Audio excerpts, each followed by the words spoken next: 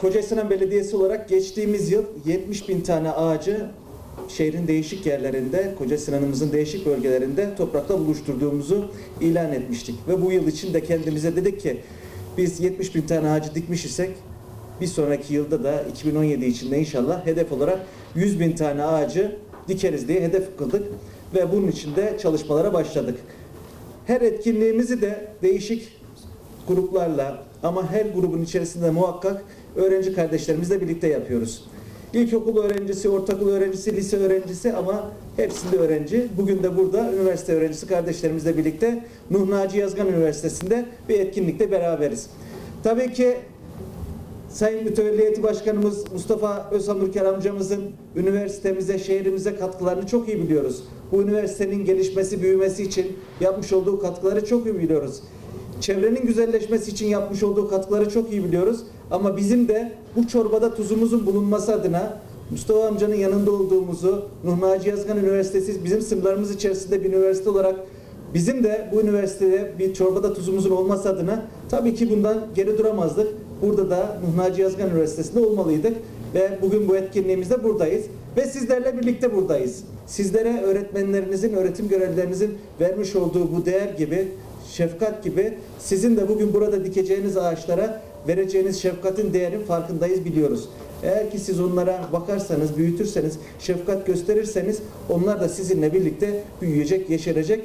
Belki sizler buradan ayrıldıktan sonra eğer öğretim üyesi olarak bu üniversitede kalmazsanız, bu şehirde değilseniz, şehrinizden ayrıldıktan sonra da bu şehre, bu üniversiteye dikili bir ağaç olarak bir katkınızın bulunacağını bilmenizi isterim.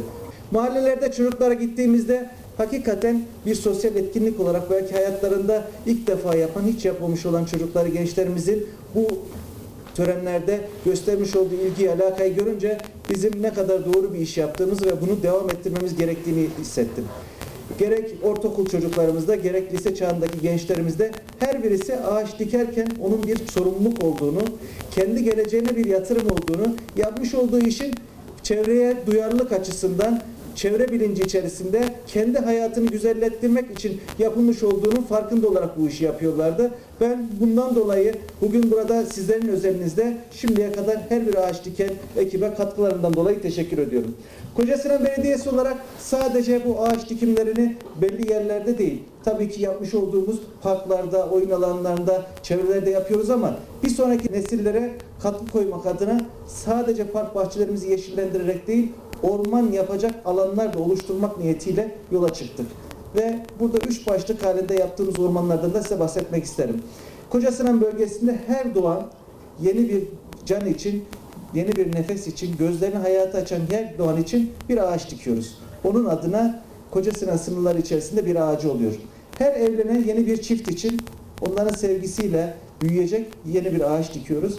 Bir diğer ağaç diktiğimiz programda bu topraklardan ebediyete intikal eden, rahmeti rahmana kavuşan cenazeler için, ölülerimiz için bir tane ağaç dikiyoruz. Ve bu ağaçlar zamanla büyüyecek ve her biri koca sıranın içerisinde bir orman olacak.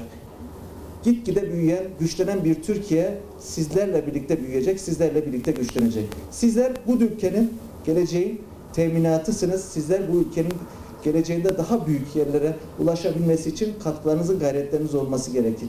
Bugün derslerinizde iyi çalışacaksınız ama sadece fenli ilimleri bilmeniz yeterli olmayacak. Bununla birlikte sosyal hayatı da iyi bilmeniz, kültürel hayatı da iyi bilmeniz, bununla birlikte dünyayı iyi bilir, dünyayı iyi tanır gençler olmanız inşallah bu şekilde güçlenen, büyüyen Türkiye'nin, Kayseri'nin umudu, istikbali olacaksınız.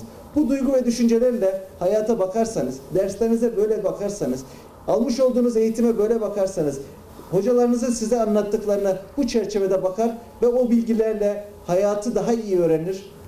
Hayatta daha iyi e, sahip çıkarsanız inşallah yarının Türkiye'sinde sizler için çok daha büyük şeyler olduğunu bilmenizi isterim. Çünkü artık güçlenen bir Türkiye, büyüyen bir Türkiye daha iyi yetişmiş donanımlı mühendislere, doktorlara, öğretmenlere, değişik meslek grubundan gençlere ihtiyacı var. Ve sizler de bu donanım içerisinde büyüyüp yetişip üniversitenizden mezun olursanız inşallah önce aile, sizin, ailenizin ama unutmayın ki Türkiye'nin göz bebeği istikbali geleceği olacaksınız diye e, hatırlatmak isterim. bu şehirle ilgili ne zaman yapılması gereken bir şey var ise şahsım ve kurum olarak her zaman için bu şehre hizmet verenlerin ve bu şehrin hizmetkarı olduğumuzu bir kez daha söylemek, hatırlatmak isterim. Şehrin birçok yerinde de görüyorsunuz. Sayın Başkan bugünlerde daha yeşil bir Koca Sinan parolasıyla hareket ediyorlar. Böyle bir etkinlik içinde ağaçlandırma programında üniversitemizi tercih ettikleri için bugün kendilerine bütün belediye personeline şahsım, mütevelliyetim ve üniversitem adına teşekkür ediyorum. Aç işi hani bir hadis-i şerif var. Kıyamet koptuysa zamanımız varsa bir ağaç dikin demiş. Tabii buranın yeşil alan olması için bizler elimizden geldiği kadar sizler de farkındasınız. Çaba harcıyoruz.